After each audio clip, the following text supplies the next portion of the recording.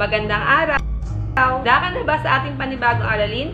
Ngunit bago yon, huwag kakalimutan pindutin ang subscribe button at ang bell button para lagi kang updated sa ating mga video lesson. Ang pag-aaralan natin ngayong araw nito ay ang paggamit ng has at ng have. Kailan nga ba ginagamit ang has at ang have? Alam mo ba? Ngunit bago natin pag-aralan kung kailan ginagamit ang has at ang have, balikan muna natin ang aralin tungkol sa plural noun at singular noun. Kailan nga ba ginagamit ang singular at ang plural noun? Tandaan na ang singular noun ay ginagamit kung ang tinutukoy na bagay ay iisa.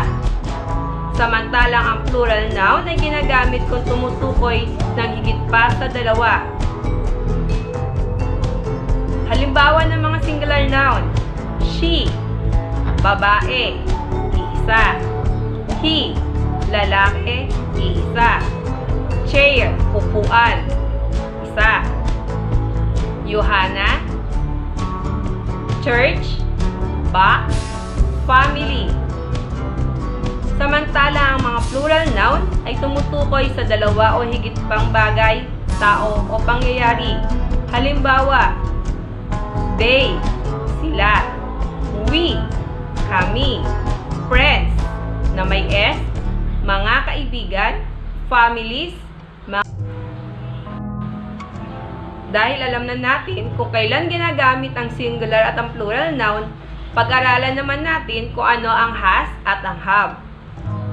Kailan nga ba ginagamit ang has at ang have? Ang has at ang have ay ginagamit to show the possession or ownership. Pagpapakita ng pagmamayari. Ang has at have ay ginagamit para ipakita ang pag-aari ngayon, present. Ang has ay ginagamit kung iisa lamang ang may-ari. Halimbawa, Johanna has a dog. Si Johanna ay may aso. Johanna has dog, cat, and bird. May tatlo siyang pag-aaring hayop, ang dog, ang bird, at ang... Muli, tatandaan na ang has ay ginagamit kung ang may-ari ay isa. Samantala, ang have ay ginagamit kung ang may-ari ay dalawa o higit pa.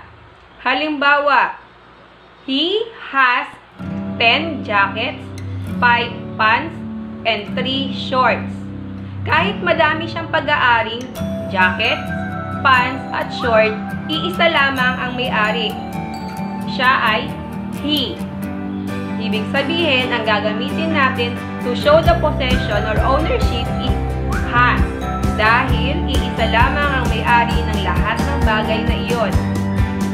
Pag marami ang pagmamayari, have na ang gagamitin natin. Halimbawa, they have a bird. They, marami, sila ay may-ari ng ibon o isang ibon. They have a plant. Sila ay may-ari ng mga halaman. Kahit gaano kadami ang kanilang pagmamayari, kung ito ay isa o marami pa, kung sila naman ay maraming may-ari, ang gagamitin natin ay